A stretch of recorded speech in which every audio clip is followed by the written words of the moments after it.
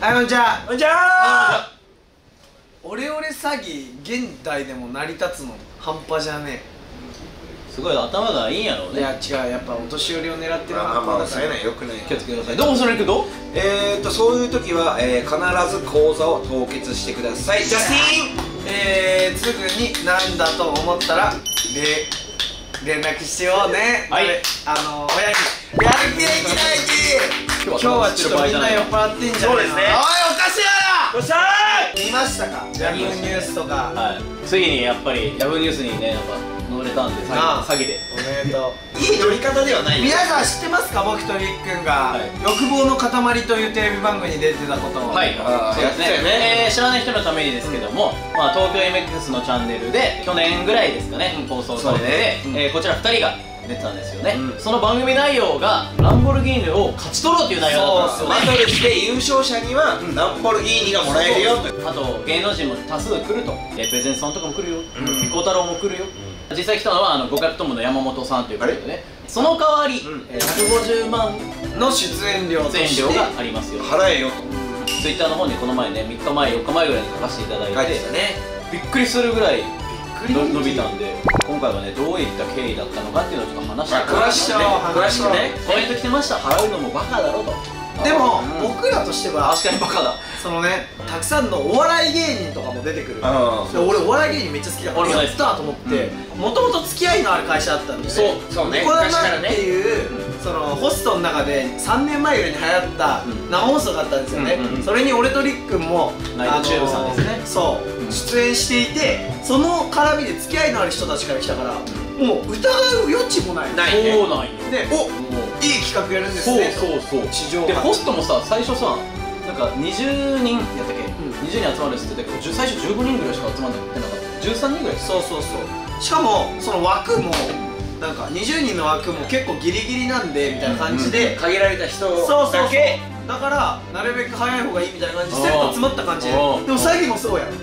時間をそうね。短くして冷静に詐欺なのかなっていう目で見れば分かる内容だったの。わわかるけど。ただ詐欺だと思そううよいう関係性と思その前のね話があるからね。でそその話に来た人もうちの雑誌雑誌が雑誌に載せてもらってる人なのよ、そうそうお金を払って宣伝。歌舞伎町の雑誌ね、で、はい、広告費を払って載せてもらってる人だからそんなことあると思ってない、そうね。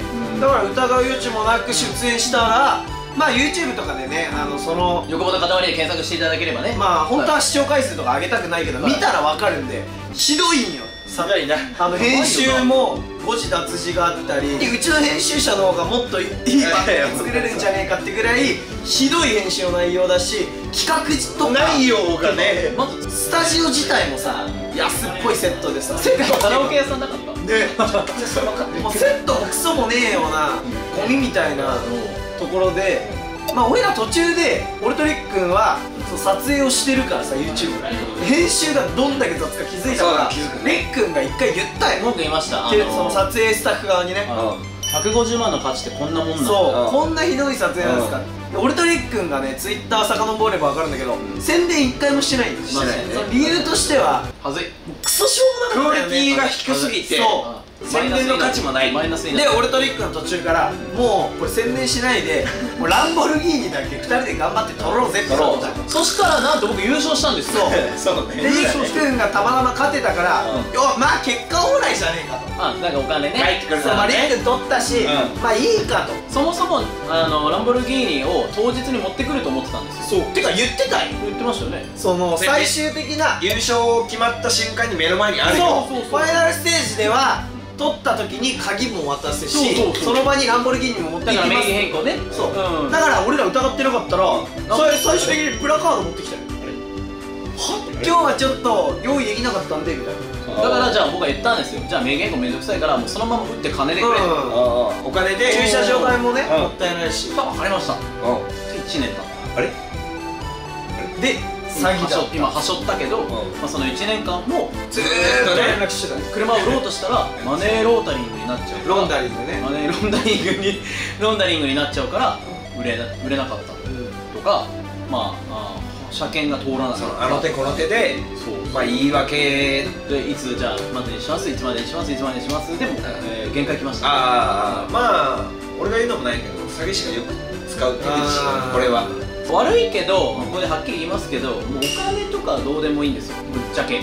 ランボルギーニとか、余ったスタイルな。そう人はそういう制裁したいの。悪いことをしてる人に対して？拡散してほしくて、うん。あれにも書いてないですよ。お金を返してほしいです。とか書いてなくてツイッターにも。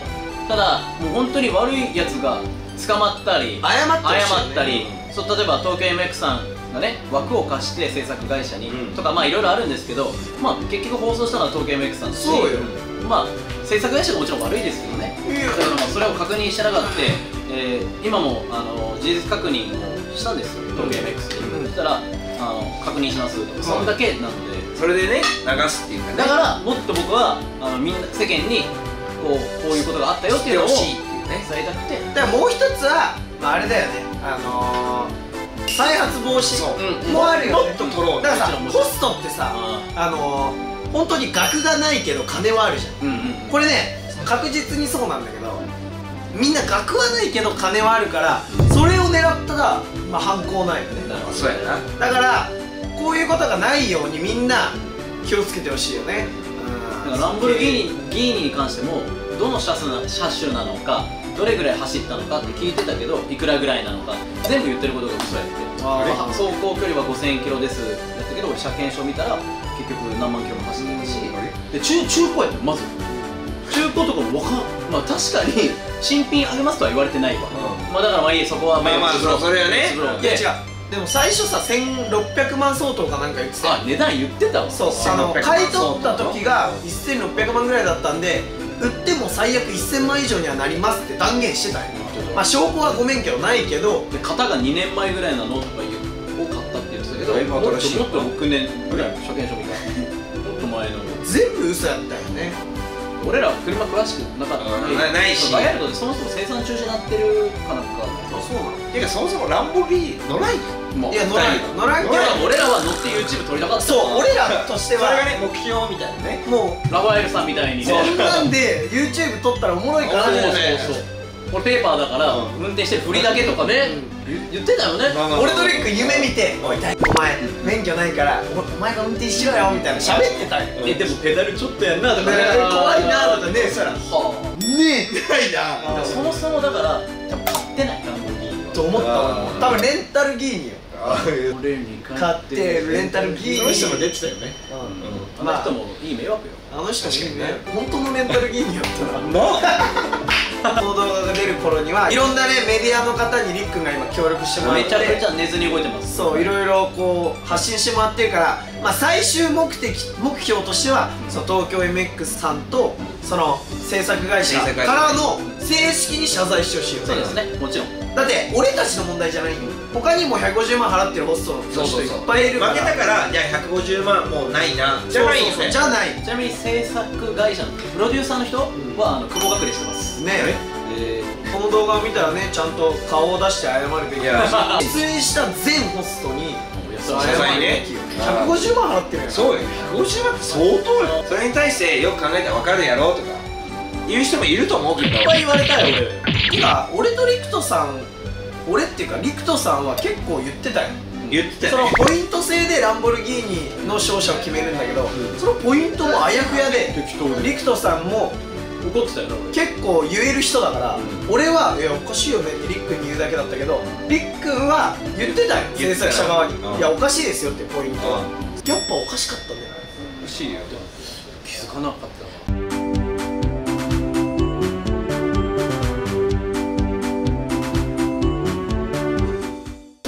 さテレビのさ放送使っていや初めてやん。だって。いや思わないってテレビで最やろってでもまあ東京 MX 側うん。さん側にもそのあの悪いところがあるって俺が思うのは一としてさまずさ審査必要じゃん。地上波使うんだから。ちゃんとそういうね計画っていうかでねそのそうそう計画の内容とかもさちゃんと見て吟味するべきだし、放送自体もさちゃんと見て、いやこのこれはちょっと地上波じゃ電波じゃ東京 MX が傷つくからそう、ねって言うべき俺らの大好きなジョジョとかもそう合ってるよいや本当にお世話になって。してるんだから俺も大好きなんですよ、うん。なのに詐欺まがいのことをさせるのはまあ良くないよね。それはちょっと審査をねもうちょっとつあ強く細かくな。いいんじゃないかな。このままねスルーされてますからね。おかしいよね。これねねこうたまたま YouTube とかやってて、みんな拡散してくれって言ったからよかったものの何もない人たちだった。ら泣き寝入りの可能性があるから。いやあのこ今のね今後の動きうん。といたしましてはまず弁護士にはもう相談してます、うん。であのもうお金も払って動いてもらうようには頼んでます。で裁判をする形まで持っていければします、うん。っていうかまあできることは全部やります。いくら払ってでも先ほども言ったけどお金が欲しいわけじゃなくて制裁したいだけなのでします。で警察に行けっていう言葉もコメントもあったんですけど、うん。まあ、警察はとりあえず一回意味ない。弁護士の人と相談して動きます、で今大輝も言った通り意味ないんですよあいつら、うん。警察みんな警察を信用してそう。刑事事件だけ。警察なんか民事やと違うからね。何もしてくれんから、でもう一つ動きとしてはそうやってメディアに取り上げていただいて今もテレビ局の人とか話したりしてるんですけど、まあ、それによって MX 側が動いてくれるのを願う。そのもう根本のねうん。派生して一つ言っていいですか、うん。どうぞ。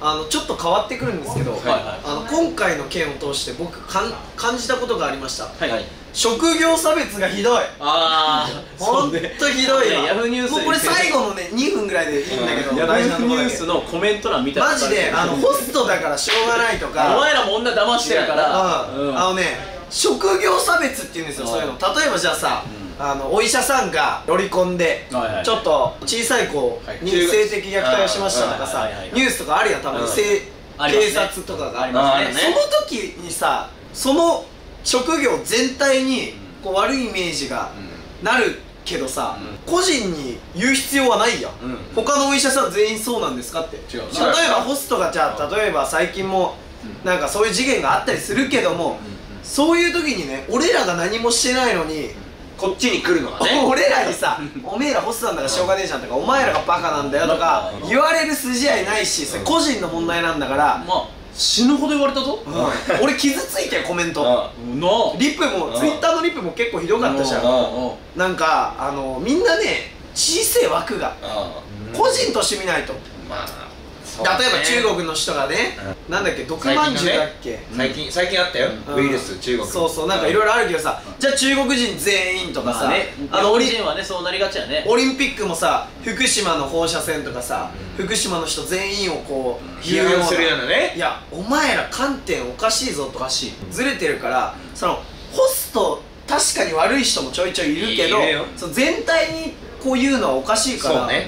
あのー、やめてください。まあまあまあ俺らがいいって言ってるわけではないそうそうそう。違くて。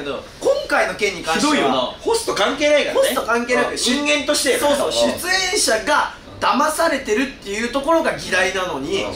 その騙されてるのがホストってだけでいやお前らホストだからしょうがねえって。じゃあ詐欺した人は何にもないんですか？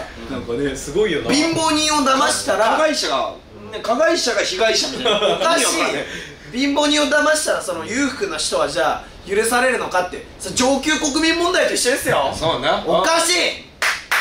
こういうホストじゃなかったら言われてないもんね。本当おかしいよ。普通のタレントが騙されたら。言うやん。ゴリゴリに、うん。おかしいぞおかしいよ好きなタレントが言われたらね。確かに確かに。それがホストになった瞬間にホストだからしょうがないっていうのはみんなマジ頭ブリってんぞまあとりあえずね俺らのレンタルギニがね。レンタルゲームがね。もらえないレンタルしてないけどな。まあみんなも関心がもし関心があったらね、あの調べたりそうそう。あの見てみてください、ね MX で。調べたら今結構ひどいことが。そういいです真相を分かってほしいっていうね。そうこれが。真相を分かってほしい。はい、えー、長々とありがとうございますいませんでした。バイバーイ。誰かかぶったな。俺俺に買ってと片で1番と2番そうそうそう。これでいい？今のうち。大丈夫です。これ